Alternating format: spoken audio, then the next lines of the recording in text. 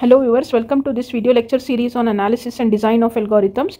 In this session, I shall explain topological sorting using the DFS method. This is an example 2. In the previous session, I have explained in detail with one example. It is applicable only for DAG that is directed acyclic graph. The given graph will be what? A directed acyclic graph and you are supposed to find the topological ordering for this given graph. For the solution, you can make three columns here selected vertex, adjacent vertex, and popped vertex, and keep one provision here for the stack. So, we'll start with any vertex. I'll start from alphabetical order. Let me choose the vertex A. So, the one which I'm choosing here A, I'll first place it in the stack. I'll select that vertex, find its neighbors.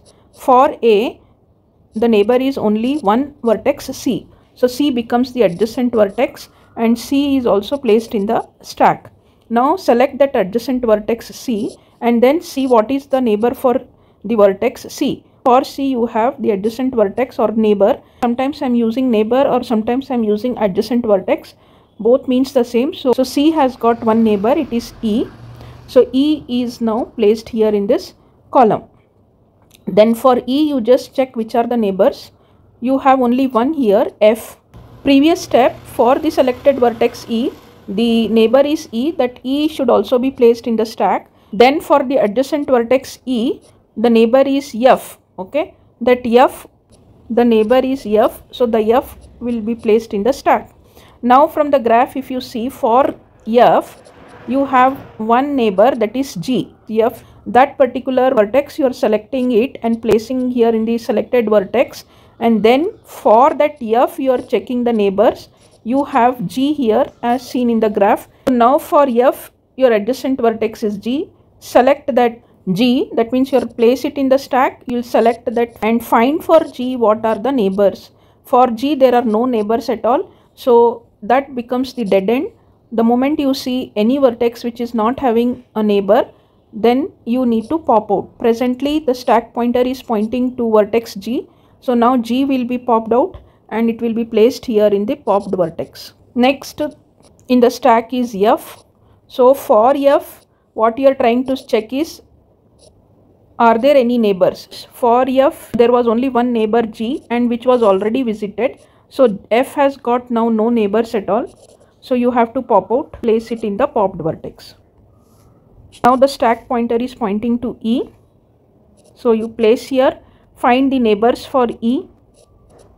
E has got only one neighbor that is F which is already visited. So no more neighbors for E. Then you need to pop out and place that E in the popped vertex. Stack pointer is now for C. C check which are the neighbors. C you have only one neighbor E which is already visited. So no more neighbors for C. You need to pop out. Place it in the popped vertex column. Now the stack pointer is pointing to vertex A. So vertex A you check the neighbors. For A you have only one neighbor C which is already visited. So no more neighbors for the vertex A. Then A need to be popped out. If these were the only vertices present in the graph A, C, E, F, G then by this time we would have got the topological sorting. But still we have B and D in the graph which are not visited. Hence this algorithm once again that means in the algorithm you are calling the topological sorting again for the nodes which are not visited. Now you need to check for B and D. So start again selected vertex as B that means first place it in the stack then select the vertex check the neighbors for B. B has got C and D.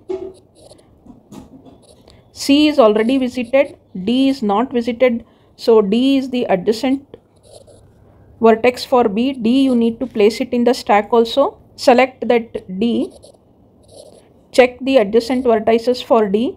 For D you have only one vertex F which is already visited. So no more neighbors for D. It will be a dash. So you need to pop out. So you will bring that D to the popped vertex. Now one more element is remaining in the stack. Take that element. Check its neighbors.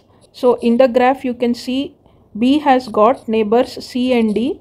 C and D both are visited. So no more neighbors for B. You have to pop it out. So pop it out and place it here in the popped vertex column. the algorithm will see that all the vertices are visited. Now check all the nodes that are present in the popped vertex column G, F, E, C, A, D, B. Same thing you can write here G, F, E, C, A, D, B. Reverse this you will get B, D, A, C, E, F, G. So this one is your final answer. You may have one more solution also. That means a graph may have multiple topological ordering. Now I started with the vertex A. Suppose if you have started with vertex B, then your order may slightly change. But finally, what is that you have to see? The solution must be correct. How to verify the solution? Always see that the nodes which are there in the order in the graph there is a direct edge existing. Now you can check here. The first node is b.